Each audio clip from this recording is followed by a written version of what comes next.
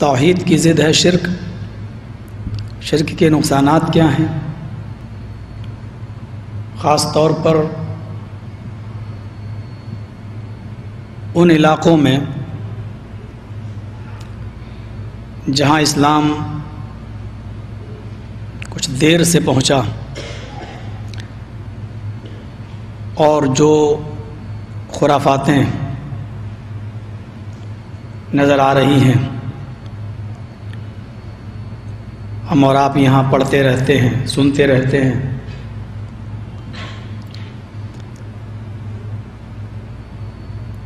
तोहीद को न समझने का ये एक नतीजा है।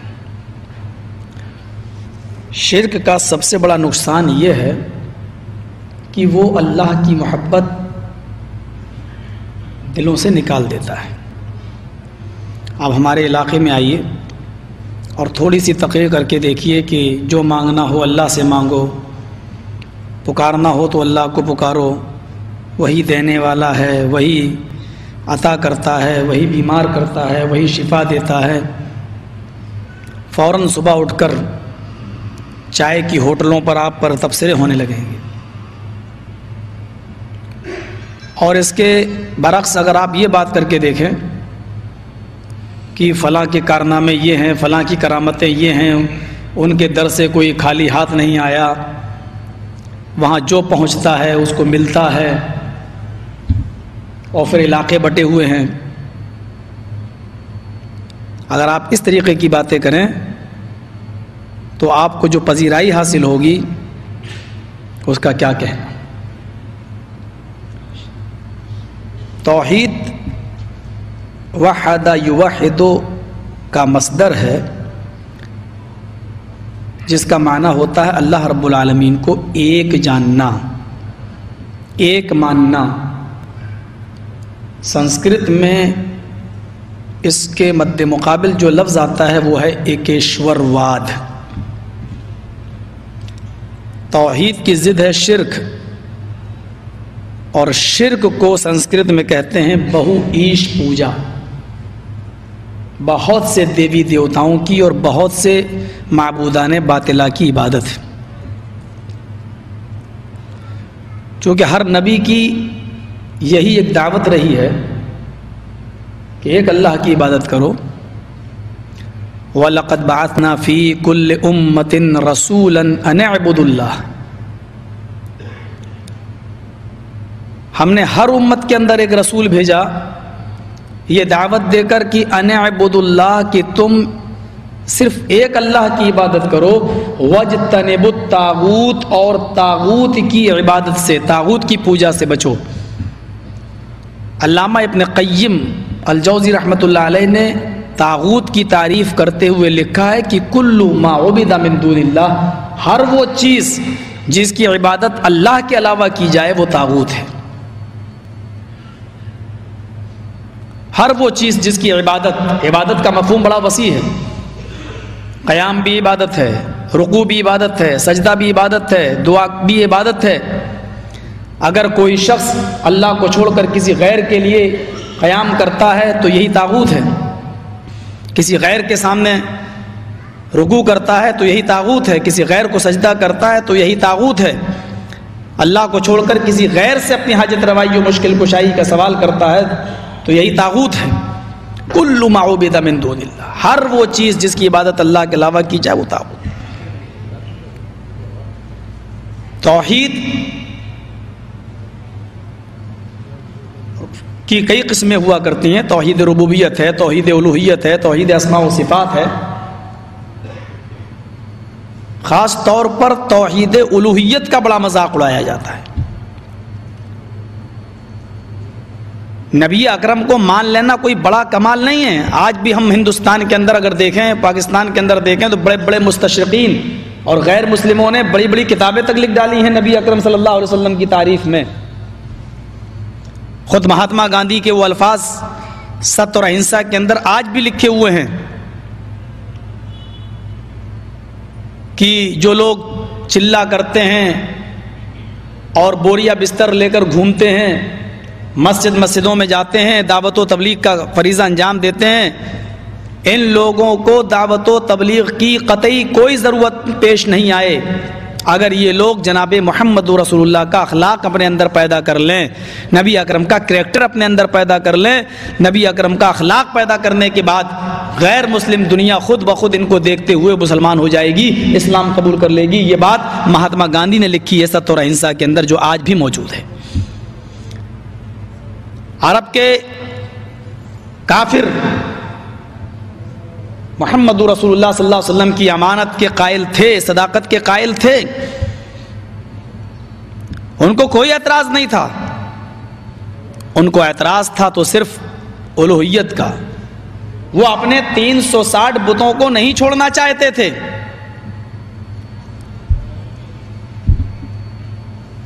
वो नबी अकरम को सच्चा मानने के लिए तैयार थे।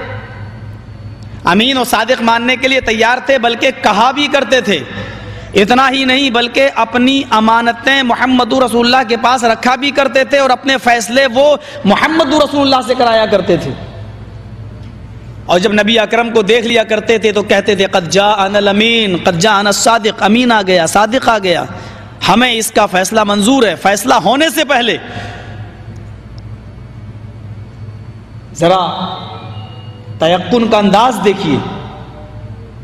फैसला होने से पहले वो ये मान लिया करते थे और कहते थे कि मुझे इसका फैसला मंजूर है। जो भी फैसला करेगा मैं फैसला मान लूँगा। फैसला क्या होगा मेरे खिलाफ या मेरे फेवर में? ये तो बात की बात है। मुझे मंजूर है इनका फैसला, चाहे वो मेरे फेवर में हो, चाहे वो मेरे अपोजिट हो। वो नहीं मानते थे तो सिर्फ़ इस बात को, ला इलाहा इल्लल्लाह। एक अल्लाह की इबादत। वो किसी कीमत पर उसके कायल नहीं थे। वो ये कहते थे कि ठीक है, हम अल्लाह को मानने के लिए तैयार हैं, लेकिन इनको नहीं छोड़ेंगे। ये हमारे सिफारिशी हैं और ये हमारी दुआएँ अल्लाह तक लेके जाते हैं। ये अल्लाह के करीबी हैं। अल्लाह के इनसे ताल्लुकात हैं। ताल्लुकात। एक किताब आती है, सीरत गौसे पाक के नाम से। इंडिया की छपी हुई है, बॉम्बे से छपी हुई है। उसके सफ़ा नंबर 179 पर, एक सौ सफ़े पर एक दिलचस्प वाक़ लिखा हुआ है। उससे आप ये देखिए कि अल्लाह का मकाम क्या है और गौसे पाक का मकाम क्या है, इसको आप अंदाज़ा लगा सकते हैं। इस वाक़े को सुनकर। जिनको गौ से पाक, मुझे थोड़ी सी इजाज़त चाहिए, हालाँकि गौ सिर्फ़ अल्लाह है। लिखा है कि गाँव के लोगों ने एक बार, एक गाँव के मुखिया से, जो प्रधान था उस गाँव का, सरपंच था उससे कहा कि बारिश बहुत दिनों से नहीं हो रही है और तुम गाँव के मुखिया बने बैठे हो। तो गाँव का मुखिया बोलता है कि चंदा करो। पैसा इकट्ठा करो, मैं अल्लाह के पास जाता हूँ और उससे बात करके आता हूँ। सफ़ा नंबर एक सौ उन्यासी, याद रखिएगा। सीरत गौसे पाक हाजी अली की दरगाह पे मिल जाएगी। थोक के भाव बिकती है किताब। कीमत भी बहुत ज़्यादा नहीं है, सिर्फ़ पचहत्तर रुपये इंडियन करेंसी लिखा है कि गाँव का मुखिया लोगों से चंदा करके कहीं गायब हो गया, अल्लाह के पास क्या जाएगा वो? सोचा आठ दस दिन में बारिश हो जाएगी तो लौट के आ जाऊँगा, लेकिन आठ दस दिन तक बारिश नहीं हुई। बहरहाल वो बेचारा आया। और आने के बाद लोगों ने कहा, क्या हुआ? अभी तक बारिश नहीं हुई, आपकी और अल्लाह के दरमियान क्या बात हुई? तो गाँव का मुखिया कहता है कि अल्लाह बहुत गुस्से में कहा, क्यों? कहा, वो इतने गुस्से में है कि वो बारिश नहीं होगी, वो बारिश नहीं करेगा। और उसने मुझसे कहा कि तू आया है मेरे पास। लोग मुझे रब मानते ही कहाँ हैं, जो कुछ तो मानते हैं, वो गौसे पाक को मानते हैं। मुझे कहाँ मानते? हैं मेरे नाम पे कोई फकीर तुम्हारे दरवाजे पे चला जाओ कहे, अल्लाह के नाम पे दे दो तो कोई देने वाला नहीं। और बड़े पीर साहब के नाम पर अगर कुछ मांग लिया जाए, अब्दुल कादिर जिलानी के नाम पर तो ग्यारहवीं की डेगे ले लो, हलवे ले लो, बिरयानी ले लो, वो सारी चीज़ें लोग मुझे मानते ही कहा सब कुछ तो उसने गौसे पाक को तलब किया है। फिर क्या हुआ? कहा, मैं अल्लाह को और गौसे पाक को दोनों को लड़ता हुआ छोड़ के चला आया अब अगर अल्लाह जीत गया तो बारिश बिल्कुल नहीं होगी। और गौसे पाक अगर जीत गए तो इंतज़ार करो कि दो चार दिन में शायद बारिश हो जाए। इस वाक़े से आप क्या अंदाज़ा लगाते हैं? और इसी के दो सफ़ा उलटने के बाद सिर्फ़ दो सफ़ा, एक सौ इक्यासी सफे पर देखेंगे, लिखा हुआ है गौ से आज़म, दस्तगीर। अब दस्तगीर का माना देखिए क्या लिखा हुआ है। बड़े पीर साहब ने अल्लाह से कहा कि, दिखाओ, ये सातों आसमान तूने कैसे बनाए। मैं ये दिखलाना चाहता हूँ, शिरक के नुकसानात क्या हैं? जब शिरक इंसानी ज़िंदगी में आता है तो ये अल्लाह के मकाम मरतबे को किस तरह घटाता है? बड़े पीर साहब अल्लाह से कह रहे हैं, गौसे पाक अब्दुल कादिर जिलानी के, मुझे दिखलाओ ये सातों आसमान तूने कैसे बनाए हैं? गोया कि ये इंजीनियर थे, सिग्नेचर इनको करना थे। अल्लाह ताला इनको लेके चला, पहला आसमान देखा का बिल्कुल ठीक। दूसरा देखा, कहा, मुस्तहसन अच्छा है। तीसरे को भी पास कर दिया। चौथे आसमान पर जब अल्लाह पहुँचा तो उसको भी पास कर दिया कि ये भी ठीक। छठे आसमान पर जब अल्लाह पहुँचा, पांचवा छठे छठे पर तो वहाँ से अल्लाह का पैर फिसला। बड़े पीर साहब का पैर नहीं फिसला, मैं बोलने में गलती नहीं कर रहा हूँ। अल्लाह का पैर फिसला और छठे आसमान से अल्लाह गिरा और वो गिरकर नीचे चौथे आसमान पर आया। बड़े पीर साहब ने अपना दाहिना हाथ बढ़ाया और अल्लाह को खींच लिया, पकड़ के उनको उठा लिया, गिरने से, ज़मीन पर आने से उनको रोक लिया, हाथ पकड़ा और उनको खींचा और ऊपर चढ़ा लिया। उस दिन से उनका नाम पड़ गया दस्तगीर हाथ बढ़ाकर अल्लाह को खींचने वाला। यह दस्तगीर का माना यह है। हाथ बढ़ाकर अल्लाह को खींचने वाला। मैं समझता हूँ कि अल्लाह की जो रसवाई और जिल्लत इस फिरके ने की है। शायद हिंदुओं की मजहबी किताबें भी अगर आप पढ़ डालें तो ये नहीं मिलेगा आपको। मस्जिद है। मैं नहीं चाहता था कि यहाँ कोई मंत्र पढ़ूं, लेकिन एक मंत्र मैं पढ़ता हूँ जिससे तौहीद का सबूत मिलता है। जरा गौर कीजिए यो यो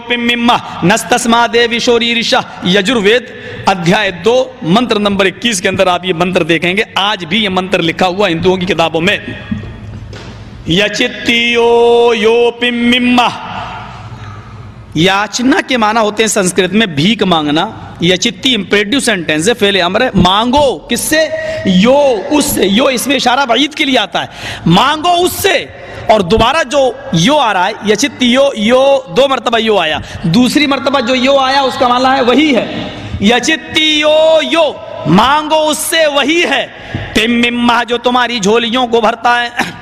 जो तुम्हें सब कुछ देता है वही है जो तुम्हें दे, देने वाला है। नस तस्मा देवी शोरी ऋषा नस तस्मा देवी शोरी ऋषा। नहीं है कोई उसके अलावा जो तुम्हारी झोली जो जो तुम्हें कुछ भी दे सके। नस तस्मा नहीं है कोई। देविशो देवी देवता री ऋषा जो तुम्हें कुछ भी दे सके। उसके अलावा कोई भी देवी देवता ऐसा नहीं जो तुम्हें कुछ भी दे सके। हिंदू मज़हब की किताबों में आज तक ये तोहीद मिली है। वो अलग बात है कि उनके यहाँ वेदों में, उनके यहाँ जो बुतों की पूजा की जाती है, मूर्तियों की, हालाँकि हिंदू धर्म में जो दो गिरोह हैं, एक आर्य धर्म, एक सनातन धर्म, आर्य धर्मी लोग बुतों की और मूर्तियों की पूजा के कायल नहीं है। साफ़ लिखा, ओम निराकारम मस्ति निराकारम वो निराकार है, उसका कोई आकार नहीं। वो अन स्टेच्यू है, उसका कोई स्टेच्यू नहीं है। ओम निराकार वो निराकार है, उसका कोई आकार नहीं है। उसकी कोई शक्ल ही नहीं है। इसी को कुरान ने ये कह दिया लई सकमिसल ही शई। अल्लाह के मिसल कोई चीज़ नहीं है। उसके मिसल कोई चीज़ है ही नहीं। उनके यहाँ जो मूर्तियाँ रखी होती हैं, वो मूर्तियाँ भगवान नहीं मानते। वो ये कहते हैं, ये भगवान का, ये रब का रूपक है। यानी हम ये तस्वुर कर लेते हैं कि गोया मेरा अल्लाह मेरे सामने, हालाँकि वो रब नहीं मानते उनको भी। जैसे आप ये कहते हैं कि हम इनको सिर्फ़ बुज़ुर्ग मानते, अल्लाह नहीं मानते। ये हमारी दुआएँ लेकर ऊपर जाते हैं। जरा तस्वुर तो करो, मौलाना अबुल कलाम आज़ाद की ज़िंदगी पर मौलाना अबुल कलाम आज़ाद लिखते हैं। नकुश अबुल कलाम आज़ाद देखो, वो लिखते हैं कि मेरे घर में मैं, मेरा बाप जो था वो बिल्कुल मुशरिक था और मेरे अपने घर में मेरी हैसियत ही थी जैसे इब्राहिम के घर में आजर आजर के घर में इब्राहिम। जैसे आजर काफिर था और उनके घर में इब्राहिम मुवाहिद। तोहिद परस्त थे, ऐसे ही मेरी हैसियत समझो, जैसे आजर के घर में इब्राहिम की हैसियत थी, वही मेरे घर में। अबुल कलाम आज़ाद के बाप का अकीदा जानते हो क्या था? इतना मुशरिकान अकीदा था, शायद किसी का ये अकीदा। हम कहते हैं कि हमारे बहुत से, आज उस मसलक से अपने नाम को जोड़ने वालों का भी अकीदा नहीं होगा। मौलाना अबुल कलाम आज़ाद के बाप बरजस्ता ये शेर पढ़ा करते थे, जो नुकुश अबुल कलाम आज़ाद के अंदर लिखा हुआ है, सबका खुदा खुदा है, हमारा खुदा मोहम्मद। अबुल कलाम आज़ाद के बाप का अकीदा ये था। सबका खुदा खुदा है, हमारा खुदा मोहम्मद लेकिन अबुल कलाम आज़ाद का अकीदा ये नहीं था। उन्होंने तोहीद की दावत दी, शिरक का काट किया, अपने बाप के खिलाफ अलम बगावत बुलंद किया और नतीजा ये निकला, जो लोग इंडिया से वाबस्ता हैं, उनको अच्छी तरह मालूम होगा कि मौलाना अबुल कलाम आज़ाद खदीबुल हिंद का मज़ार आज भी दहली की जामा मस्जिद के अंदर मौजूद है, लेकिन उस मज़ार की हैसियत क्या है? उस मज़ार की हैसियत क्या है? ताला पड़ा होता है, कुत्ते ऊपर से दीवारों से चढ़ के अंदर घुस जाते हैं। उन, उस मज़ार का कोई झाड़ू लगाने वाला भी नहीं है। उस मज़ार पर कोई झाड़ू लगाने वाला भी नहीं, कुत्ते पेशाब पायखाना करके चले जाते हैं। अगर मौलाना अबुल कलाम आज़ाद का अकीदा वही होता, जो उनके बाप का अकीदा था तो आज उनकी कब्र पर इत्र छिड़का जा रहा होता। गुलाब पड़ रहे होते, फूल बरस रहे होते और एक से एक उमदा चादरें चढ़ रही होती। चूँकि उनका अकीदा ये नहीं था, इसलिए आज उनके मज़ार की हैसियत है। उनके कब्र की हैसियत है। मेरे प्यारे साथियों, यही चीज़ तो मुझे आपके सामने रखना है कि तोहीद क्या है। उन्होंने इस बात को समझा था। सबसे बड़ा गुनाह अल्लाह को छोड़कर किसी गैर को पुकारना है। उठाइए वो हदीस जिसको इमाम बुखारी किताबुल कबायर के अंदर लेके आए। हदीस के अल्फाज इस तरह हैं। वान अब्दुल्लाह इब्न मसूद रज़ी अल्लाह तआला नु क़ाल क़ाल रजुल या रसूल अल्लाह अय्यु ज़ंब अकबर इंदल्लाह क़ाल अन तदउ लिल्लाहि निद्दन व हुवा खलक़क। इस हदीस को इमाम बुखारी किताब तौहीद में भी लाए। हज़रत अब्दुल्ला इब्न मसूद फरमाते हैं कि अल्लाह के नबी सल्लल्लाहु अलैहि वसल्लम के पास एक शख्स आया। और आते ही उसने कहा अयु जम्बे अकबर इंदल्लाह, अल्लाह की नज़र में सबसे बड़ा गुनाह कौन सा है? अल्लाह की नज़र में सबसे बड़ा गुनाह कौन सा है? सोचना नहीं पड़ा, जवाब नहीं देना पड़ा। जनाबी मोहम्मद सल्लल्लाहु का जवाब सुनो। आपने फ़ौरन कहा अंतदन वह खलकक। अल्लाह को छोड़कर किसी ऐसी हस्ती को पुकारना, हालाँकि उसने तुम्हें पैदा किया है। अल्लाह को छोड़कर किसी ऐसी हस्ती को पुकारो, हालाँकि उसने तुम्हें पैदा किया। अपनी हाजत रवाई और मुश्किल कुशाई के लिए किसी गैर को पुकारना यह सबसे बड़ा गुनाह बताया है जनाब मोहम्मद उस हदीस को भी उठाओ, जिसको इमाम बुखारी किताब तोहहीद मिलाए